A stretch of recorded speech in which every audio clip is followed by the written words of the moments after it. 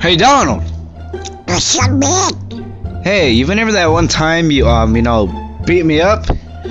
Can't remember about it. Well, yeah, I'm barely recovering from those injuries you gave me, you little bitch. Oh, shit.